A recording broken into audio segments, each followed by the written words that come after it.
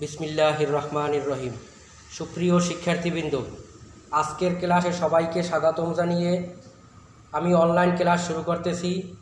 আজকে তোমাদের সামনে আমি অষ্টম শ্রেণির আইসিটি বিষয় নিয়ে আলোচনা করব। তোমরা সবাই মনোযোগ সহকারে ক্লাসটি লক্ষ্য করো এবং আমি পাওয়ার পয়েন্টের সাহায্যে যে ক্লাসটি দেখাচ্ছি, সেই ক্লাসটি সুন্দরভাবে এবং সুশৃঙ্খলভাবে নোট করে নিবে। আশা করি তোমরা বাসায় অবস্থান করতেছ এবং বাসায় বসে পড়ালেখা চালিয়ে যাচ্ছ। আজ আর কথা না বাড়িয়ে আমি মূল ক্লাসে চলে যাচ্ছি। আমার পরিচয়, আমি মোহাম্মদ মামুন হোসাইন, সহকারী শিক্ষক আইসিটি চৌয়ারিপাড়া হাসিনা মোর্শেদ বালিকা মাধ্যমিক বিদ্যালয়, বানারীপাড়া, বরিশাল। আজকে আমি অষ্টম শ্রেণির তথ্য, যোগাযোগ প্রযুক্তি বিষয় নিয়ে আলোচনা করব। শিক্ষার্থী বন্ধুরা, এখানে একটি ছবি তোমরা দেখতে পাচ্ছ এবং ছবিটি সম্বন্ধে আমি তোমাদের সামনে বলছি, এক কম্পিউটার থেকে স্যাটেলাইটের মাধ্যমে অন্য কম্পিউটারে তথ্য আদান প্রদান করা হচ্ছে এই ছবিটির মাধ্যমে। পরবর্তীতে আরও একটি ছবি রয়েছে, সেই ছবিটিতে তোমরা দেখতে পাচ্ছ কম্পিউটারগুলো সুনির্দিষ্টভাবে একে অপরের সাথে যুক্ত আছে। এই ছবি দুটির মাধ্যমেই হয়তো তোমরা বুঝতে পেরেছ যে আজকে আমি তোমাদের সামনে কোন বিষয়টি নিয়ে আলোচনা করতে যাচ্ছি। তাহলে আজকের পাঠ হলো টপোলজি। আমরা আজকে এই টপোলজি বিষয়টি নিয়ে আলোচনা করব।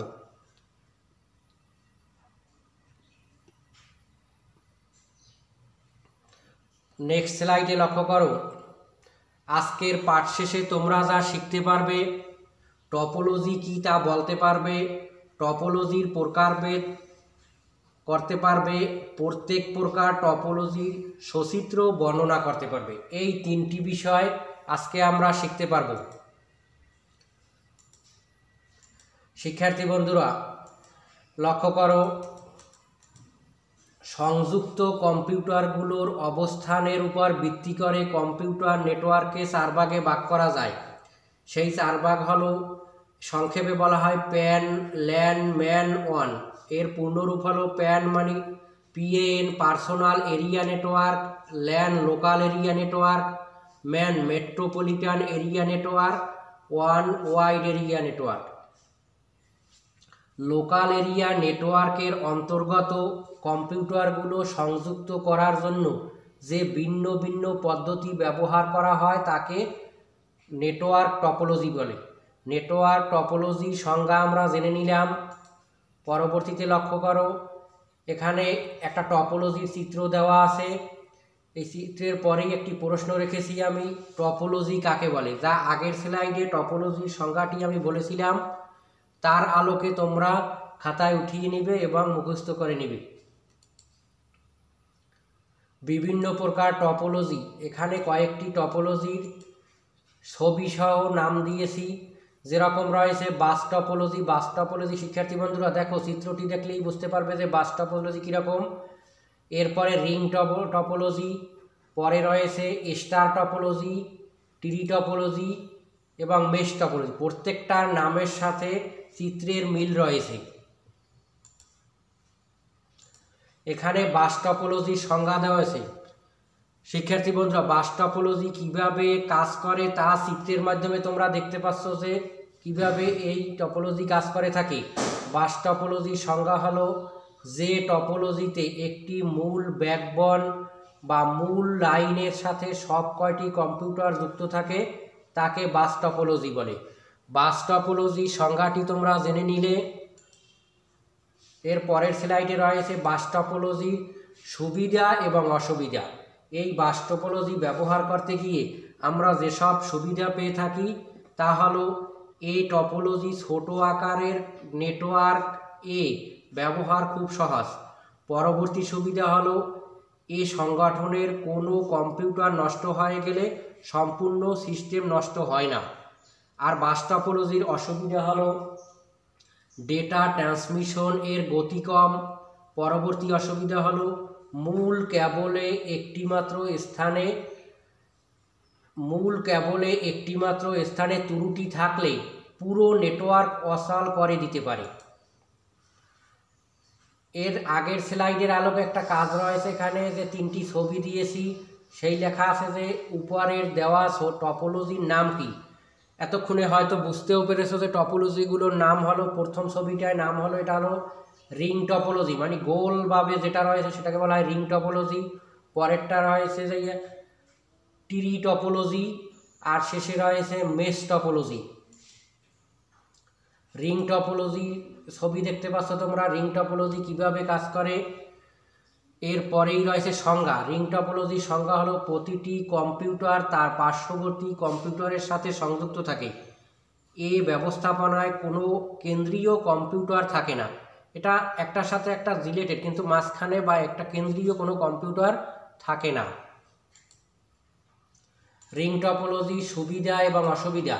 রিং টপোলজির সুবিধার মধ্যে রয়েছে এ পদ্ধতিতে, অর্থাৎ রিং টপোলজিতে কেন্দ্রীয় কোনো কম্পিউটার বা সার্ভারের প্রয়োজন হয় না। এ নেটওয়ার্কে অবস্থিত প্রতিটি কম্পিউটারের গুরুত্ব সমান।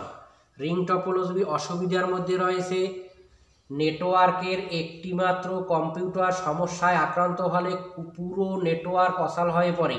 এটা একটা অসুবিধা। রিং টপোলজি নেটওয়ার্ক এর সমস্যা নিরূপণ বেশ জটিল।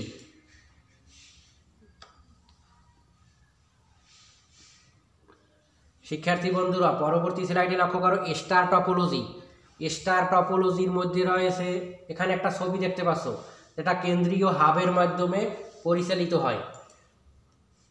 স্টার টপোলজির সংজ্ঞা, কোনো নেটওয়ার্কের সবগুলো কম্পিউটার যদি কেন্দ্রীয় হাব বা সুইচ এর সাথে যুক্ত থাকে, তাহলে সেটিকে বলে স্টার টপোলজি। স্টার টপোলজির দেখো এখানে, এক্ষেত্রে একটি কম্পিউটার কেন্দ্রীয় কম্পিউটারের মাধ্যমে তথ্য আদান প্রদান করে থাকে। স্টার টপোলজি তুলনামূলকভাবে একটি সহজ টপোলজি। কেউ যদি খুব তাড়াতাড়ি বা সহজে একটি নেটওয়ার্ক তৈরি করতে চায়, তাহলে সে স্টার টপোলজি ব্যবহার করবে। স্টার টপোলজি সুবিধা এবং অসুবিধা। স্টার টপোলজি সুবিধার মধ্যে রয়েছে, এ সংগঠনে কোনো কম্পিউটার নষ্ট হয়ে গেলে বাকি নেটওয়ার্কের উপর কোনো প্রভাব পড়ে না। খুব সহজে সমস্যা আক্রান্ত, সমস্যায় আক্রান্ত কম্পিউটারটি সরিয়ে নেওয়া যায়। স্টার টপোলজি ব্যবহারের অসুবিধা রয়েছে।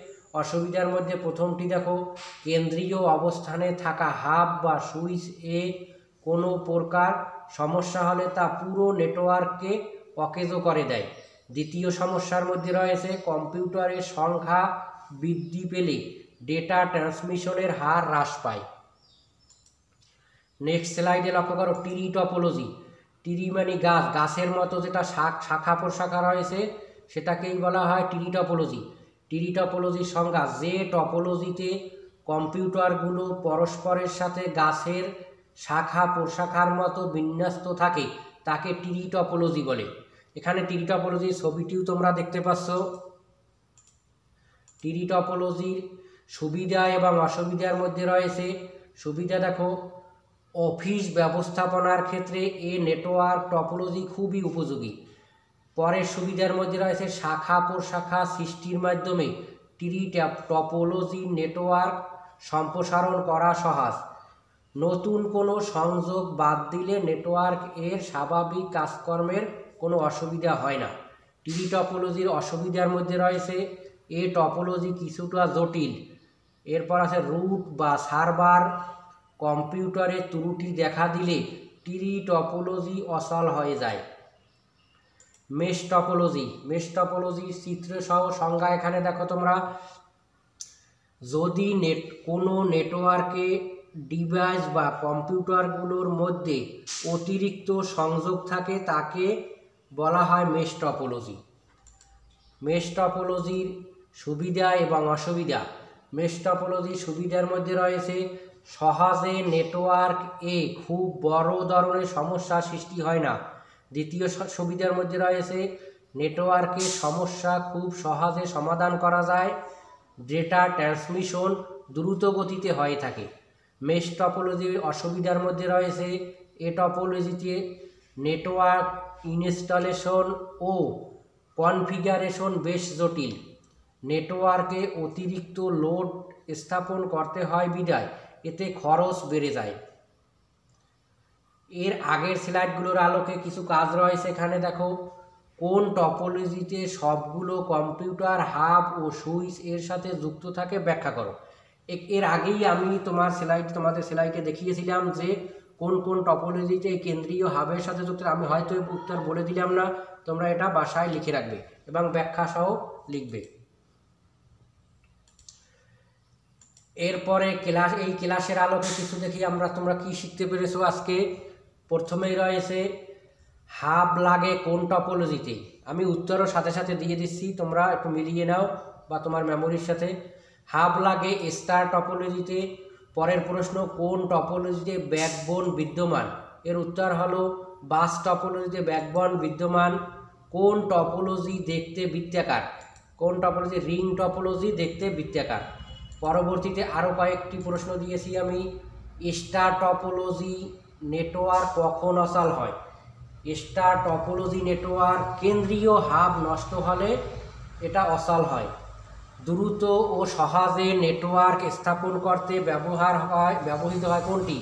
স্টার টপোলজি অনেকগুলো স্টার টপোলজির সমস্যা কোনটি? অনেকগুলো স্টার টপোলজির সমস্যা হলো ট্রি টপোলজি এখানে একটি বাড়ির কাজ দিয়েছি। শিক্ষার্থী বন্ধুরা, এই বাড়ির কাজটি তোমরা লক্ষ্য করো, তোমাদের বিদ্যালয়ে দশটি কম্পিউটার আছে। এখানে কোন টপোলজি ব্যবহার সুবিধাজনক সুবিধাজনক ব্যাখ্যা করবে। এটা তোমরা আগের স্লাইডগুলো যদি পর্যবেক্ষণ করতে পারো, তাহলেই বুঝতে পারবে যে কোন টপোলজিটি ব্যবহার করলে তোমাদের স্কুলের এই দশটি কম্পিউটার সুবিধাজনকভাবে টপোলজি, কোন টপোলজিটি ব্যবহার করা যায়, তার একটা ব্যাখ্যা প্যারাগ্রাফ আকারে লিখে রাখবে। সবাইকে ধন্যবাদ জানিয়ে আজকের ক্লাসটি শেষ করছি। আল্লাহ হাফিজ।